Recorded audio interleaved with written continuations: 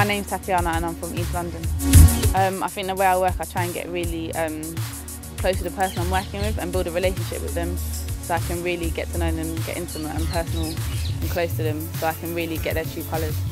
The main reason that really excited me about the project was um, the possibility of Spike Lee getting to see, see my work um, and also just it's a great opportunity um, to drive yourself to create a new piece of work working with someone that I may not have potentially ever worked with.